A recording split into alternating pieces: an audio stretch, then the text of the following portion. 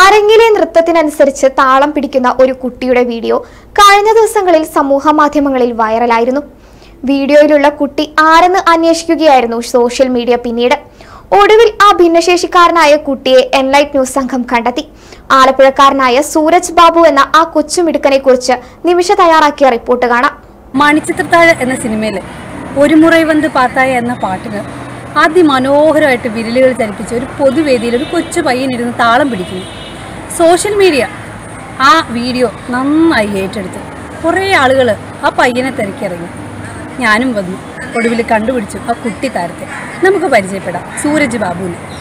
ആലപ്പുഴ ബീച്ചിന് സമീപത്തുള്ള സാന്ത്വൻ സ്പെഷ്യൽ സ്കൂളിലെ വിദ്യാർത്ഥിയായ സൂരജ് ബാബുവാണ് നമ്മൾ അന്വേഷിച്ച ആ കൊച്ചുമിടുക്കൻ. പാട്ടിനനുസരിച്ച് താളം പിടിക്കുന്ന ഈ കുട്ടിയുടെ പെർഫോമൻസിന് ഷെയറും ലൈക്കും നൽകിയില്ലെങ്കിൽ നമ്മൾ മലയാളികളാണോ എന്ന ചോദ്യത്തോടെ ആഷിഖ് ഹൈദരലി എന്ന യുവാവാണ് ഫേസ്ബുക്കിൽ ഈ വൈറലായ വീഡിയോ പങ്കുവച്ചത്.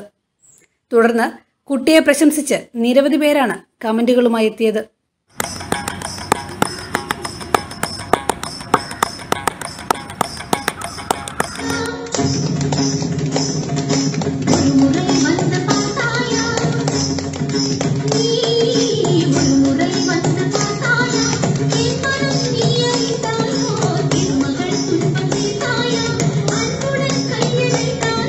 ലോക ഭിന്നശേഷി ദിനാചരണത്തിന്റെ ഭാഗമായി ആലപ്പുഴയിൽ Kerala association for physiotherapist coordination ജില്ലാ കമ്മിറ്റി സംഘടിപ്പിച്ച ഫിസിയോമസി രണ്ടായിരത്തി ഇരുപത്തിരണ്ടിൽ നിന്നും പകർത്തിയ വീഡിയോയാണ് വൈറലായി മാറിയത്.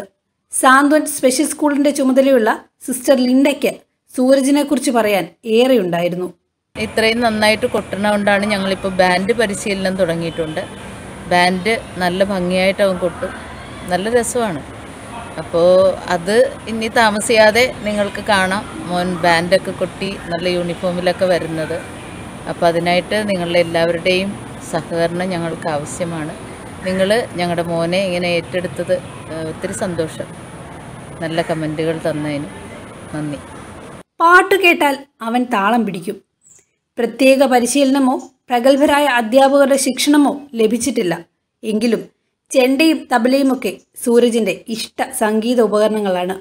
സദാ താളങ്ങളെ ഇഷ്ടപ്പെടുന്ന കൈകൾ ഒരു മുറ വന്ന് പാർത്തായ ഒരിക്കൽ കൂടി കേട്ടപ്പോൾ വീണ്ടും ചലിച്ചു തുടങ്ങി.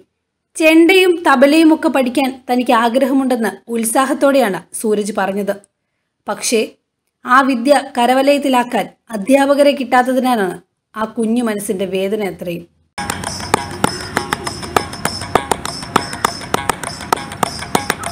ഇനിയാണ് മാറ്റത്തിന്റെ കടന്നുവരവ്. സ്വപ്ന വെഡിങ്സ് എരമല്ലൂർ വൈക്കം.